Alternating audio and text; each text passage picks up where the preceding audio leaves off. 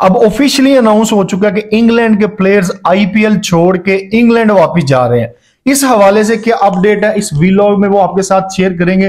लेकिन before going into detail discussion अगर आपने मेरा चैनल सब्सक्राइब नहीं किया तो चैनल को सब्सक्राइब कर दे ताकि क्रिकेट से रिलेटेड जितनी भी अहम न्यूज़ है वो आप तक पहुँच सके।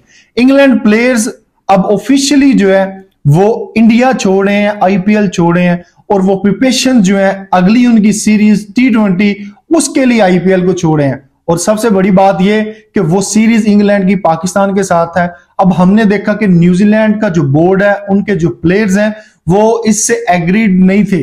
वो सेक्रीफाइस नहीं कर पा रहे थे। लेकिन इंग्लैंड जैसा बोर्ड है, उसने एक बहुत अच्छा डिसीज़न लिया है। उनके प्लेयर्स ने अच्छा डिसीज़न लिया है और वो आईपीएल को सेक्रीफाइस कर रहे हैं अपनी नेशनल ड्यूटी पे।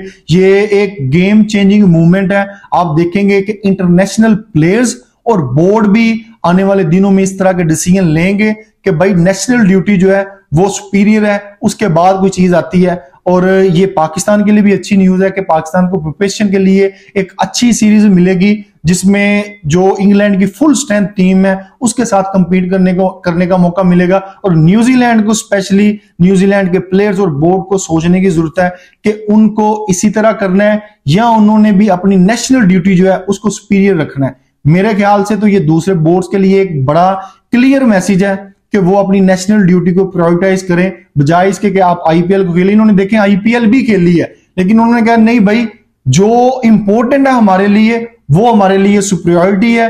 हमने आईपीएल खेलनी है, लेकिन अपनी नेशनल ड्यूटी को कॉम्प्रोमाइज नहीं करना।